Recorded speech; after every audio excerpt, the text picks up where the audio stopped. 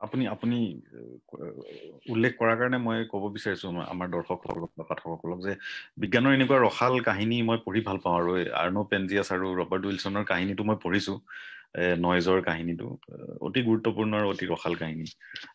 আকৌ মই ঘূৰি আহিব বিচাৰিছো আপোনাৰ গৱেষণাৰ বিষয়ে মোৰ প্ৰশ্নটো হৈছে যে আপুনি আপোনাৰ কথাখিনি শুনি এনেকুৱা লাগিছে যে আপোনাৰ গৱেষণা সম্পূৰ্ণ তাত্বিক নে ইয়াত লাৰ্জ হেড্ৰন কলাইডাৰ বা পাৰ্টিকেল এক্সিলেটৰৰ কিছু ডাটা লৈ পেলাই আপুনি পৰীক্ষা কৰিও কিবা গৱেষণা কৰে?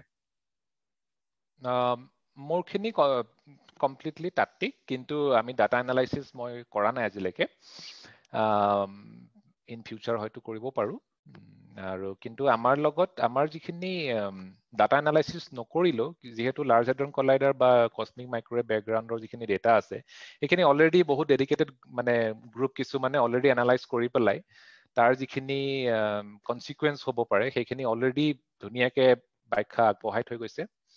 গতিকে আমাৰ যিবোৰ মানে তাত্বিক যিবোৰ মানে কাম সেই কামবোৰৰ যদি কিছুমান প্ৰেডিকশ্যন থাকে সেই প্ৰেডিকশ্যনবোৰে যদি সেই ডেটাবিলাকৰ এনালাইচিছ কৰি পেলাই পোৱা কথাখিনিক কণ্ট্ৰাডিক্ট কৰে বা সেই কথাখিনিৰ লগত নিমিলে তেতিয়া আমি গম পাওঁ যে হয়তো কিবা এটা কিবা এটা ভুল হৈছে বা কিবা এটা কিবা এটা প্ৰব্লেম আছে আমাৰ সূত্ৰটোত।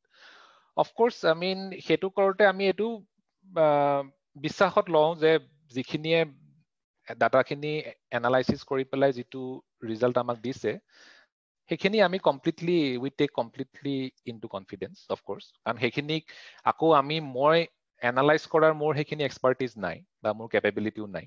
গতিকে মই সেই তেওঁলোকৰ এনালাইচিছটোৰ ওপৰত ভিত্তি কৰিহে আমি যিবোৰ তত্ত্ব আগবঢ়াওঁ সেই তত্ত্ববোৰৰ কোনটো কোনটো ছাইডে আগবাঢ়িব লাগিব বা কোনটো তত্ত্ব সেইখিনিৰ লগত এগ্ৰিমেণ্ট নকৰে বা কৰে সেই তেনেকুৱা ডিচিশ্যন মেকিং বিলাকত আমি সেই ডেটা এনালাইচিছৰ ৰিজাল্টবোৰ ইউজ কৰোঁ। ফাইনেল ৰিজাল্টবোৰ ইউজ কৰোঁ কিন্তু কোনো ৰ ডেটা আমি কেতিয়া মই এতিয়ালৈকে এনালাইজ কৰি পোৱা নাই।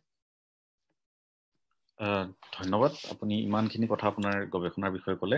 এতিয়া আমি প্ৰথম আমাৰ সাক্ষাৎকাৰৰ প্ৰথম ভাগটোৰ সামৰণি কৰিব বিচাৰিছো। আকৌ আপোনাৰ লগত আৰু বহুত কথা আছে পাতিবলৈ। আমি দ্বিতীয় ভাগত আকৌ আপোনাক লগ পাম আৰু আকৌ আপোনাৰ লগত কথা পাতিম। পাঠকসকলৰ বাবে আৰু দৰ্শকসকলৰ বাবে আমি প্ৰথম ভাগটো ইয়াতে সামৰিছো। দ্বিতীয় ভাগত আমি ডক্টৰ দেৱাশিষ বৰাৰ সৈতে ভাৰতীয় গৱেষণা তেওঁৰ নিজৰ ব্যক্তিগত জীৱন আৰু গৱেষণাৰ পদ্ধতিৰ বিষয়ে আমি কথা পাতিম। ধন্যবাদ। ধন্যবাদ মঞ্জিল।